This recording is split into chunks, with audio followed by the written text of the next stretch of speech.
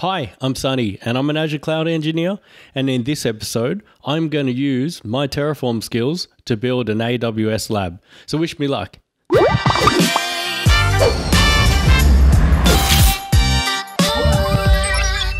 So welcome back to the channel. If you caught my last video, I showed you how to build an Azure lab with Terraform. Um, it was a good introduction to Terraform and anyone wanting to learn infrastructure as code. I spoke about multi cloud and the benefits of learning a universal language across clouds, such as HashiCorp Configuration Language, also known as HCL. So I thought it'd be a fun experiment to see if I can use my Terraform skills to build an AWS lab. I've had limited exposure to AWS. Um, I, I, know basic concepts. I've deployed some test EC2 instances some time ago via the console, and that's probably about it. So before we get started, obviously you need an AWS account, you need a private and public key pair, and you need Terraform itself.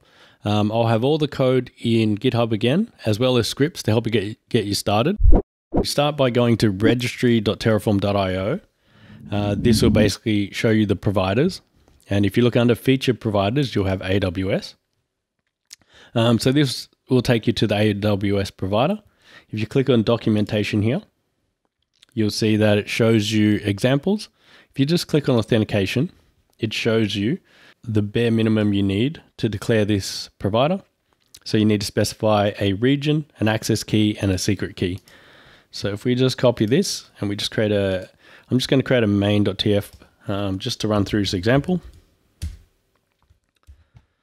So uh, what else I discovered is if you go to the AWS console and just go onto IAM uh, and you go to users, you see I already have an account. Um, i have actually already run this um, just to save time, but we'll create a new user.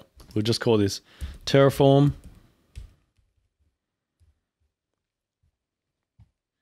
And you need to tick uh, this option, which is uh, pro programmatic access. Can never pronounce that. Um, which will use basically an access key and a secret key.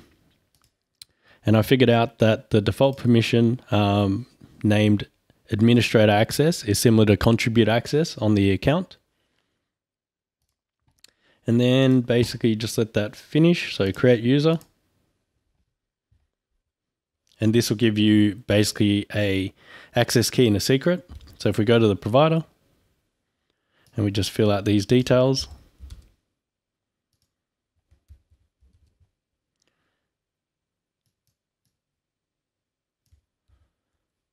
And that's pretty much it. So that's uh, that's the AWS provider setup. So we'll move ahead. And so in episode four, uh, I built a lab which consisted of multiple resource groups, virtual machines, uh, log analytics workspaces, configuring the MMA agents, creating some uh, storage accounts. Um, so I'm basically going to try and mimic that. If you look here, if we look for um, an AWS instance, which is an EC2 instance, uh, pretty much a VM, you'll see that the example showed you that it does a AWS underscore AMI lookup. Um, AMI being, uh, I think it's Amazon machine image um, and it's labeled as Ubuntu. Um, so you can see here that it's doing a, a text string filter, and it looks like it's going to grab uh, the latest Ubuntu image, and then it basically just has a virtualization type, um, and then the owners, which is a number for um, Canonical, which are the create they are the creators of, of Ubuntu. I, I, believe you can also use Amazon um, and other things um, I think Microsoft is also acceptable. And then you can see here just declaring a AWS instance, um, and it's going to basically use that data lookup, and then uh, give it an instance type, which is a T3 micro, which I think is a free tier. Um, and then basically set a tag. So, so I learned that in AWS, tags are used a bit differently. Instances have randomly generated numbers, so there's no dependency on a resource name. And tags, specifically the name tag, is used to declare or, or give all your resources a name. So this um, this instance was, is going to be labeled hello world. But if we dig a bit further, you see that um, this example shows you how to build out an entire environment. So So basically, you can see we're going to create a VPC, um, which is, I think, mm, virtual private cloud. Um, technically, it's like a resource group, is my understanding. And you can see here there's a CIDR block. Um, and this is actually like creating a virtual network.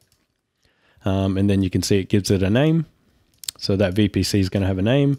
And then you've got this AWS uh, subnet. So obviously it's going to create a subnet in that VPC slash VNet as well. Um, and then it's going to give it a tag as well. Uh, and then we're going to create an AWS network interface. And you can see here that it's going to basically uh, um, assign that ne network interface into the subnet above. Uh, and it's going to give it a name, primary network interface, and then you're creating a VM, which is also going to associate that network card or network interface.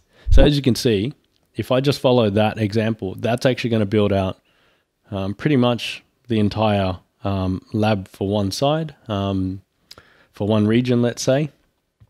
Um, and it's that straightforward. So, so technically, I didn't need to know what a VPC was, um, but I, I, do have basic concepts, and you know everyone knows what a subnet is if you work in Azure, and a network interface and an instance. Um, so pretty much, what I'll do is I'm going to copy this uh, data lookup, and then and then I'm going to copy the bottom part of the VPC and the entire VM block. So the entire example. So if I copy this, um, but what I need to do is reference this data lookup, which is called data dot. Uh, let me type that actually. Actually, so this AMI here. So if I just copy this, I know that the reference for this object is going to be so. Obviously, I I know this ahead of time. So it's going to be data.aws underscore AMI dot Ubuntu, and then it's going to be dot ID. Um, so obviously if we go, you can see, I think I've got AWS AMI open. If you go look at the, the, where is it? The attributes, I believe, attribute references. You can see here that it's going to give me the ID. Um, so if I, yep. So, so pretty much, if I was to build this, let, let me do that. If I do a Terraform init, I'm going to initialize it. It's going to download the provider. Um, so we'll just let this go. So, I mean, without any sort of real knowledge, I know all the components I need to actually build a virtual machine. Uh, and it takes it to the next level with the other example, of the VPC subnet network interface. So if I do a Terraform plan, so I have an alias called TF, just uh, so I don't have to type Terraform all the time, and it just points to my terraform.exe. If I do a plan, uh, expand this out, you can see that, I'm going to build a new AWS instance, uh, and we're just going to call it foo. But you can see that it's grabbed the AMI, so that means that data lookup worked for the latest Ubuntu image. Um, it's going to basically assign an instance type. Um, and then it's going to, let's see, it's going to create a AWS network interface. And then it's going to assign the IP address within that subnet as defined. It's going to give it a name, primary network interface. Uh, it's going to create a new subnet, um, obviously in the region specified as well as the subnet. Uh, where's the VPC? 12 seconds later. Okay. Hmm. So there's a VPC there. I don't know what that was about. So as you can see, that is pretty much going to build me a skeleton of what I need. Um, now, I'm actually not going to spend the time to to figure out all the other bits. Um, I have already figured out the other bits. So obviously, with the help of Google, um, I discovered all the things that I needed to do. So of tears later. So what I've done is I've already deployed code, which is obviously on GitHub as well. Um, and these are the challenges that I had that I had to fill in the gaps. Um, so with the VPC, um, I discovered that uh, basically I needed an internet gateway uh, to actually reach my virtual machine. So an internet gateway um, allows you to route traffic from a VPC outbound. Um, so I basically had to create a AWS uh, internet gateway, which I just declared a resource. Um, I needed to create a, a route table. Um, that was a tricky one because um, when I created the internet gateway, I just assumed it was going to work because uh, I had to do something else, which was I had to give my virtual machine an elastic IP. And funny enough, you know, elastic IP, um, you know, is a uh, apparently a public interface. Um, so so once I figured out the route table, so I had to route all my traffic outbound to the internet gateway. Um, and then also another problem was I had to set it as the main route table. Um, seems like the default route would override, which I guess makes sense. Um, other challenges was um, I had to create security groups, so they're like NSGs or NSG rules as well. Um, had to open up WinRM, which is a management port, as well as RDP. Um, and then secondly, I, I basically created an S3 bucket, so you can see here. Um, so the next thing was I outputted the admin password of the server. So it turns out um, you need the private key pairs um, so you can decrypt the password. So you can see here, I'm using this RSA decrypt and um, I'm, I had to enable a flag in the EC2 instance to actually um, make the password available. And then I had to use my uh, private key to decrypt. Um, so yeah, that was a challenge as well. Um, I've obviously added my public key as well. Um, I don't think I did anything specific here. I just created a locals file, so it contained everything. So I was randomly generating uh, pet name and then um, shuffling locations, um, which I don't know if I'm using the locations to be honest. I just put it in from my code from before because I've got two regions here because um, I needed it to align. So I'm actually not using that. I'll probably take that out. Um, I've also learned that um, I tried to set up the CloudWatch agent, so try to mimic the MMA agent to do logging, um, and SSM just uh, in case I wanted to to use um, you know similar functions to the the Azure um, guest agent to do management tasks. Um, so I figured out that I needed to assign policies. Um, so you know there was examples on the internet of this, and it just told, showed you the raw formats. So I had to add that. Uh, the EC2 instance. Um, so as you can see, I built Windows because um, I, I, discovered everything in Azure's, uh, not Azure. Um, Amazon is very specific to Linux. Um, so I thought I'd make it a bit more challenging to use Windows. Um, so there wasn't many challenges, um, but the the CloudWatch agent was a bit trickier. so I've added the key pair here. Um, so you've got to create a key pair so you can decrypt the admin password, as, as mentioned. Um, I, I, figured out that network interfaces, you need to assign the security groups to the network interface itself, not the EC2 instance. Um, I was originally trying to put it into the EC2 instance and I didn't like that. Uh, neither the Elastic IP, um, you know, the fancy names for a public IP address. Um, this is just so I could uh, connect to it. Uh, and then you can see here, so I'm using the data lookup, um, using the free tier, adding the key names with the key pairs. Uh, this get password underscore data is a requirement. You need to set that to true so you can actually retrieve it. Um, I think this connection option, um, I think it actually extracts the password. Uh, I don't know. Someone correct me if I'm wrong.